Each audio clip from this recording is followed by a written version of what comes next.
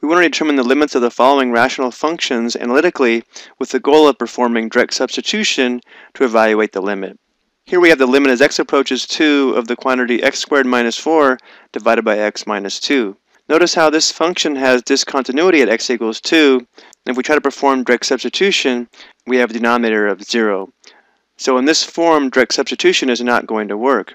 But if we notice the numerator is factorable, it'll help us evaluate this limit. We can rewrite this as the limit. As x approaches 2, our numerator is a difference of squares, so we'd have x plus 2 times x minus 2 all over x minus 2. And what we'll notice is there's a common factor of x minus 2. And so graphically what's happening is that x equals 2 because of this common factor, there's a hole, which means we have removable discontinuity.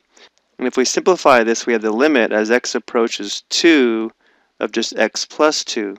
So the graph of y equals x plus 2 is exactly the same as the graph of the given function, except it doesn't have discontinuity at x equals 2. And because the hole at x equals 2 does not affect the limit, we can perform direct substitution into this limit to determine the original limit.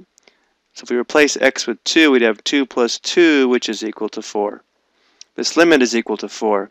And just to emphasize this idea, let's take a look at the graph of the original function. Here it is. Notice the discontinuity at x equals 2.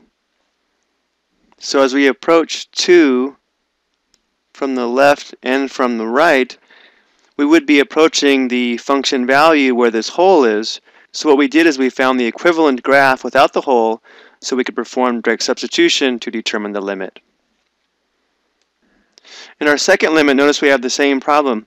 We cannot perform direct substitution because the given function is undefined at x equals 0. But there is a common factor of x between the numerator and denominator, so let's go ahead and factor this one as well.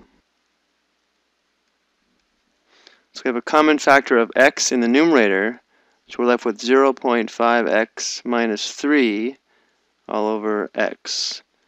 And x over x simplifies out, simplifies to 1. And so that tells us that the given graph is the same as the graph of 0.5x minus 3 without the hole or removable discontinuity at x equals 0. So we can now determine this limit by performing direct substitution into the linear equation 0.5x minus 3. So if we replace x with 0, we would have 0.5 times 0 minus 3. So this limit is equal to negative 3.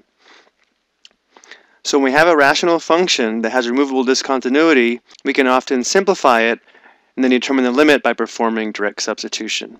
Let's finish by verifying this graphically as well.